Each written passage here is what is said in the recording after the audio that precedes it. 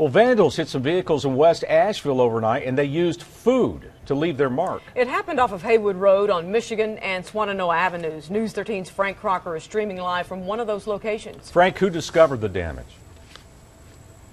Well, folks heading out of their homes first thing this morning, and let me tell you, they just could not miss it. A big, sticky mess that's going to be awfully tough to clean up. We ran into Susan Markovitz as she walked her dog, checking out what someone did to her rental car overnight.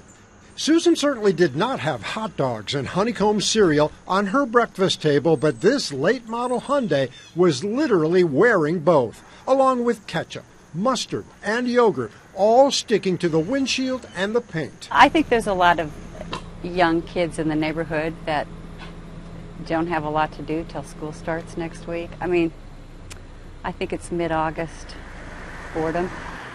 A Honda a few blocks away was splashed with ketchup and what looks to be an entire bottle of salad dressing. Word of what happened on the street hit social media quickly, thanks to a neighbor who's among the many looking out for each other. I went ahead and put it on the West Asheville Exchange page on, on Facebook, was just to alert neighbors. I don't know like how you can necessarily protect yourself or your car. The big problem now is cleanup. The condiments that went on these cars in the dark of night are baking in the sun. That stuff got a lot of uh, ingredients in it that soap and water just won't take off. Patches Blair runs Tanks Automotive in Asheville. He says from his experience making cars sparkle again, it may be too late for the ones across town. You just like uh, bird poop. You know when it go on there.